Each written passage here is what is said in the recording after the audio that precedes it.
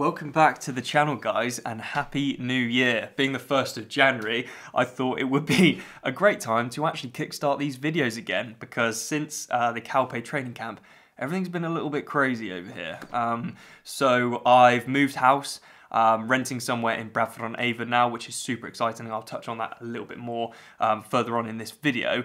And I'm training with an amazing group of people and things are going really, really well. So I want to kickstart these videos again. Apologies to you guys for not uploading that much recently, but it's just been pretty hectic. There's not been anything super exciting going on. I'll show you my new training environment, everything that's going on. I should be getting a really cool pain cave or setting up a cool pain cave soon. So that'll be really exciting. Given that it's the 1st of January, I'm not normally one for New Year's resolutions, but I felt like I needed one because I've kind of fallen off the bandwagon a little bit here. So going forward. I'm gonna go back to one video a week. I'll be doing more reels on Instagram, so maybe a reel, two reels a week, and a post a week. That is my promise to you. I want you guys to hold me accountable uh, because I think I need it. but it's gonna be super, super exciting because I've got a lot coming up and it's gonna be great. This time of year generally is all about training. There's not really any races coming up. Given that I'm in the UK, uh, the weather is subpar, that's for sure. I think it's rained every single day since I've been back from Calpe, so that's not been massively enjoyable. So fingers crossed we can try and get away to Lanza or somewhere similar for a bit of a training camp, which would be amazing. We'll get some footage for that.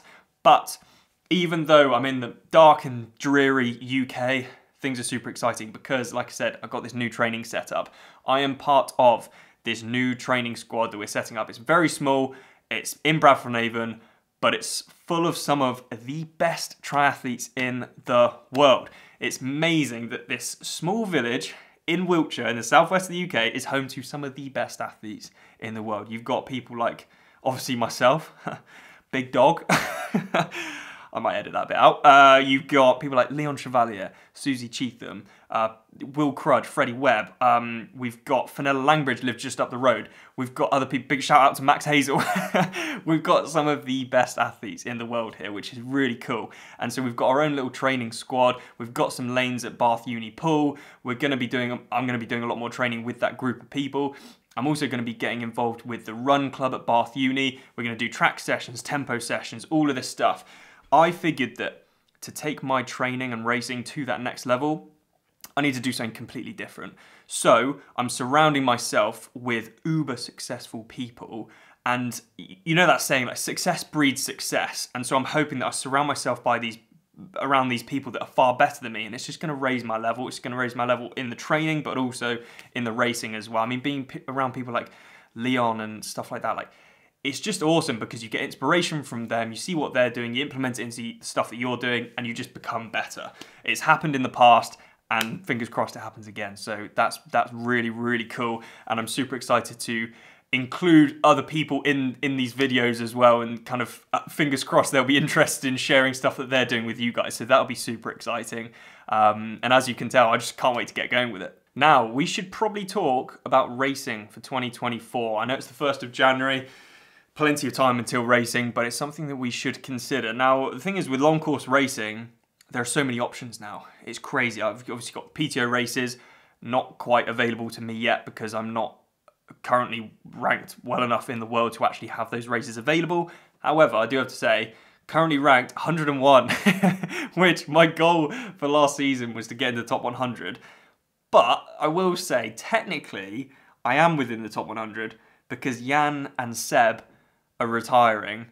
So that kind of then bumps me further down. So technically I'm in, but technically I'm not. But anyway, that's pretty cool to see. So we get into the top 100. And the big goal for this year is to just get that world ranking as low as we possibly can. And I genuinely feel like I can get close to 50 this year. Like I genuinely, like if I have a great season that I think I'm capable of, it could happen. Like it genuinely, genuinely it could. And so I'm super excited for racing this year. I'm going to be a little bit more tactical this year and pick races that are actually going to suit me. In the past, I've kind of just willy-nilly gone, yeah, I'll do that, I'll do that, I'll do that. But I've never thought about the style of racing and my style of racing personally. Now, I think you do have to, in some sense, experiment a little bit and find what works best for you. Now I've done that experimenting phase, I know what works best for me. So, for example, I'm never going to go back to Marbella. Not because it wasn't a cool race, but because it's 1400 meters of climbing. I'm not a climber. There's, I'm just already starting on the back foot. So it's things like that I'm considering for this year. I have to say, I'm not going to get involved with the Pro Series for the first race of the season. That might be a bit of a shock. You've got Ironman Texas or Ironman South Africa. I'm going to go for Ironman South Africa purely because I think the course is going to suit me better. I think more people will go to Texas because it's part of the Pro Series, so I think there's more opportunity for me at South Africa. So that's my idea first race of the season. Hopefully get a little warm-up race before that. South Africa, I want to do Challenge Champs, qualified for that, really cool race. I want to do 70.3 Belgium, that was a really cool race, had a great race there, that was really good fun. Um, Challenge Roth, really want to do Challenge Roth. I think that course is going to suit me well, and I think, obviously, you're up against some of the best athletes in the world there. Uh, if Challenge London has a pro field, I don't even know if it does, but if it does, I'll be there because I was really gutted I missed out on it last year and 70.3 Worlds in December. I was very close to saying I don't want to go to the Worlds.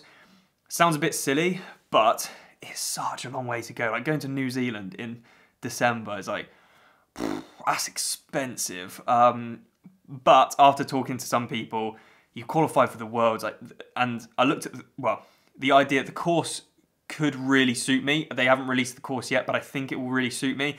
And so I'm just going to bite the bullet. I've got a little bit of time to save up some money, get me some flights and accommodation, and that'll be really cool. So I've got two big championship races there, Challenge Champs and 70.3 Worlds, but I obviously, yeah, Challenge Roth, all these other races, gonna be really, really cool. Maybe do two slash three fulls in the year. I don't know if my body could do three, maybe do two, um, and then sprinkle a few 70.3s in there as well, but I'm just going to be more tactical with all of the racing that I'm doing this year. Now for this season, I am keeping the same bike, the Argon. However, I may change a few things with the setup. And this year, I really just want to fully focus on optimizing every single bit of swim, bike and run to make sure there's no excuses and I can go as fast as I possibly can. So there may be a few changes to the um, equipment that I'm using and I will obviously document that in these videos. Now if there are other races out there that you think I should consider that I haven't talked about, drop them in the comment section below because I am interested, you know, I'm obviously luckily being a pro you don't have to enter these races really soon before the race, you can enter them quite last minute.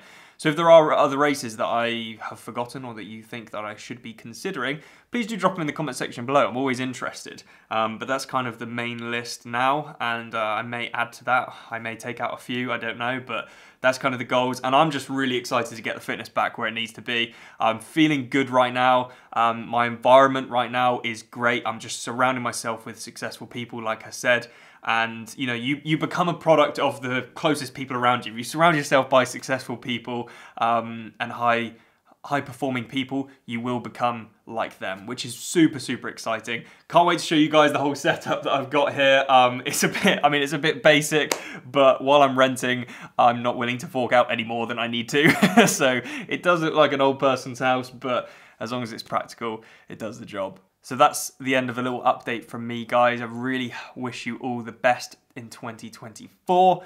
And yeah, we're going places this year, so keep an eye on the channel, and I'll see you in the next one.